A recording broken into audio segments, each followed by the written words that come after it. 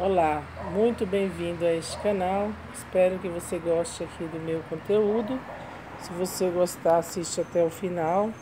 Já peço o seu é, like e também deixe o seu comentário, que é muito importante para o canal, né? Para eu tá, continuar a fazer os vídeos. Aqui eu vou estar tá mostrando aqui este lindo coléu. Esse coléu tem umas folhas enormes eu tenho mais coléu, mas eu já, já fiz a poda, né? Esse aqui já está começando a ficar mais é, desengonçado, mas ainda está lindíssimo. Ele é enorme mesmo. Ele fica aqui nesse vaso.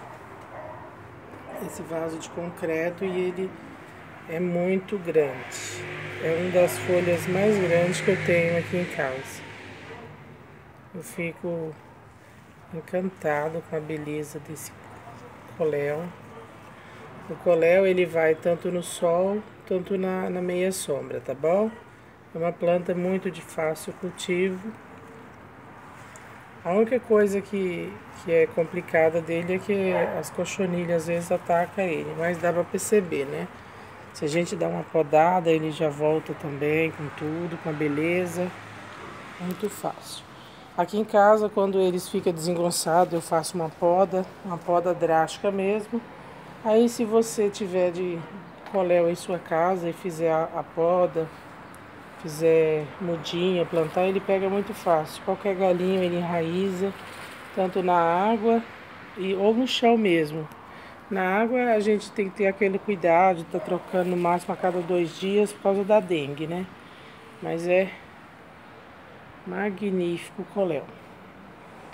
Também eu quero estar tá mostrando para você, aqui em casa abriu a, a, o meu Ripsalis é, Pilocarpa. Então eu vou estar tá mostrando o Ripsalis Pilocarpa. Ele é uma pendente, então eu vou estar tá mostrando mais ou menos assim.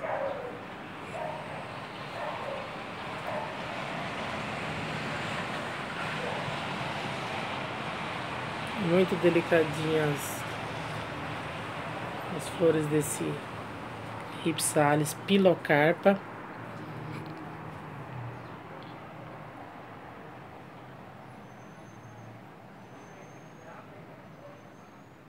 Bem, bem transparente, né? As, as florzinhas, essa daqui deu duas na, no mesmo galho.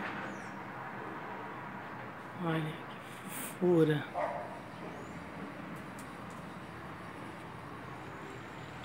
É um espetáculo da natureza, né?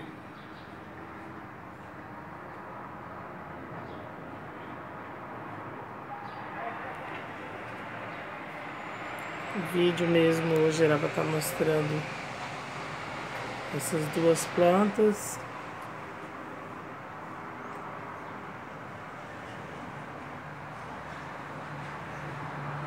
Olha a beleza, gente do céu. Ela chega a ser transparente, de tão branquinha. Fica muito bonita. Espero que você tenha gostado. O Ripsalis é, ele é cultivado na, na sombra, não suporta sol pleno.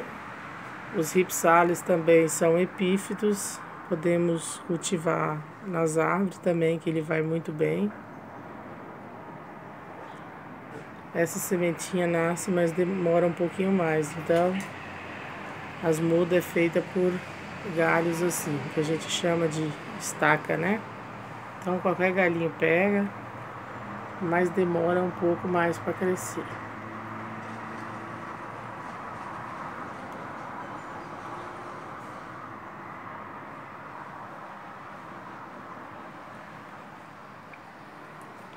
Espero que você que me acompanhou até aqui tenha gostado. Eu fico muito feliz com a sua visita, tá bom?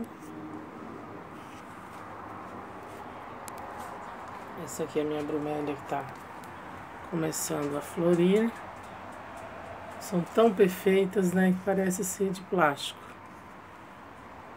São magníficas as bromélias, né?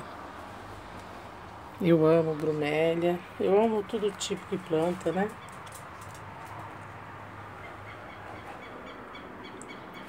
Espero que tenha gostado aí desse meu vídeo. Deixe o seu like que é muito importante, tá bom? Que Deus abençoe a tua vida.